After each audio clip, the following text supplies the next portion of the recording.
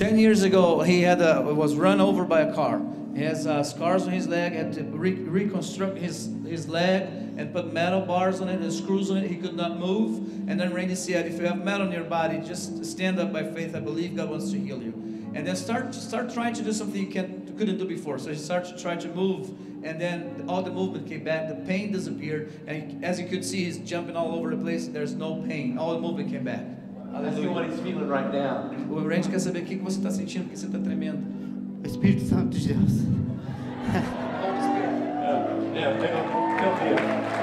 Hallelujah. Hallelujah. Glória a Deus. Te abençoe.